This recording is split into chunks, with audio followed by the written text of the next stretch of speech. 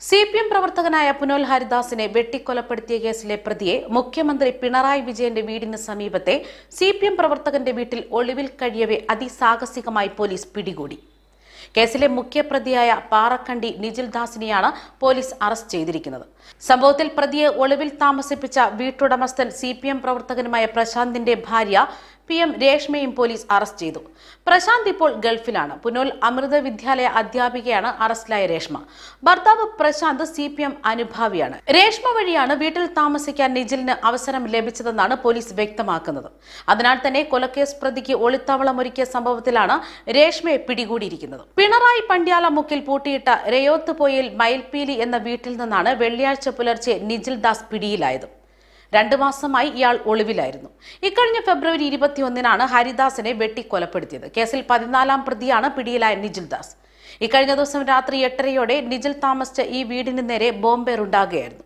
വീടിന് ചുറ്റുമുള്ള മുഴുവൻ ജനൽ ചില്ലുകളും അടിച്ചു തകർത്ത ശേഷമാണ് രണ്ട് ബോംബുകൾ എറിഞ്ഞത്. ഈ സംഭവത്തിന് പിന്നാലെ രാത്രി പതിനൊന്ന് മണിയോടെ ബോംബ് സ്ക്വാഡും സ്ഥലത്തെത്തിയിരുന്നു. പിണറായി പണ്ടിയാലമുക്കിൽ പൂട്ടിയിട്ട രയോത്ത് പുയയിൽ മയിൽപ്പിലി എന്ന വീട്ടിലായിരുന്നു വെള്ളിയാഴ്ച പുലർച്ചെ മൂന്ന് മുപ്പതിന് പ്രതി പിടിയിലായത്.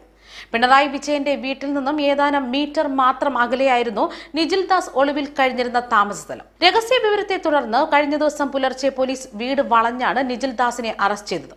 ഫെബ്രുവരി ഇരുപത്തിയൊന്നിന് പുലർച്ചെ ഒരു മണിക്കാണ് സി പി എം പ്രവർത്തകനായ ഹരിദാസിനെ രണ്ട് ബൈക്കുകളിലായി എത്തിയ നാലംഗ സംഘം കാൽ വെട്ടിമാറ്റി കൊലപ്പെടുത്തിയത്. മത്സ്യബന്ധനം കഴിഞ്ഞ് വീട്ടിലെത്തിയപ്പോൾ കുടുംബത്തിന്റെ മുന്നിലിട്ടാണ് കൊന്നുകളഞ്ഞത്. കൊലപാതകത്തിന് ഉപയോഗിച്ച ആയുധവും വാഹനവും നേരത്തെ തന്നെ പോലീസ് കസ്റ്റഡിയിലെടുത്തിരുന്നു.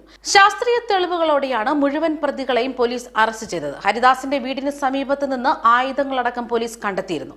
കണ്ടെത്തിയ കൂട്ടത്തിൽ വാളും ഇരുമ്പ് ദണ്ടും ഉണ്ടായിരുന്നു.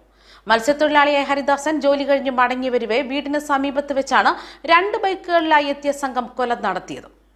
നിരവധി വെട്ടുകളേറ്റ അവസ്ഥയിലായിരുന്നു ഹരിദാസൻ. കാൽ അറുത്തുമാറ്റിയ നിലയിലായിരുന്നു. കൊലപാതകത്തിന് മുമ്പ് മൂന്ന് തവണ ഹരിദാസനെ വധിക്കാനുള്ള ശ്രമങ്ങൾ ഉണ്ടായെന്നും പോലീസ് വ്യക്തമാക്കുന്നു. ഫെബ്രുവരി എട്ടിന് പുനാൽ മൂത്തക്കോലത്ത് ഭഗവതി ക്ഷേത്രത്തിൽ വെച്ചുണ്ടായ തർക്കമാണ് കൊലപാതകത്തിലേക്ക് നയിച്ചത്. News desk Karma news.